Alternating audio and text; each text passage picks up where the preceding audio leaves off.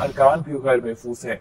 जिस तरह इस्लामाबाद पुलिस ने पार्लियामेंट लॉजिस में गैर कानूनी चढ़ाई की और लोगों की जान खतरे में डाली, हमने ये भी मुतालबा किया था कि हमें सिंध पुलिस की हिफाजत में दिया जाए, जो कि हमारा आईनी और कानूनी हक है।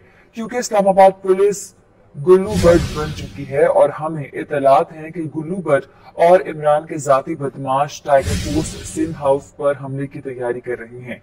अगर सिंध हाउस के तनसीबात या हमारे किसी रुकन को नुकसान पहुँचा तो उसकी सारी ज़िम्मेदारी न्याजी सरकार पर होगी और ये आइन और कानून की भी खिलाफवर्जी होगी, जिसका पहले से तदारुक इंतहाई ज़रूरी है।